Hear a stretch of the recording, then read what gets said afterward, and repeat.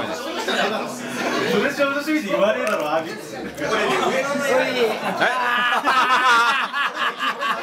おい。しい。これで食べちゃうでここは手の場合は手のこれこれありますよね。これ逆取ってでこれをこれを取るんです。で取ったらここを割ります。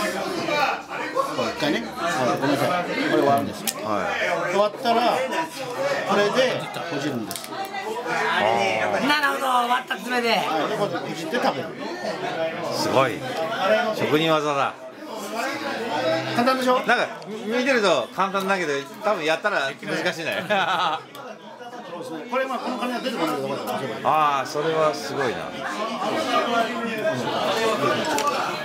上のいいよディープだこうやって食べる上のはへえはい。でしょだから15分あれば食べれますから。でちゃんと食べてくださいこれほらカニを。こうやって食べるんですよちょっと手品みたいなね。マジックだね。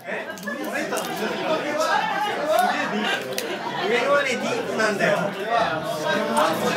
いやー高田さんもこれ実演販売実演販売ですよね。ねはいこれ全部食べれます。はいどうぞ。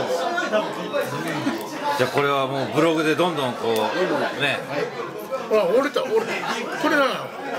中村さんおたくちょっと俺にもちょうだいよ。ダメだよ。自分どれ。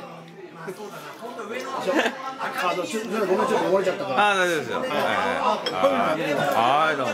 食べ方簡単でしょ？ね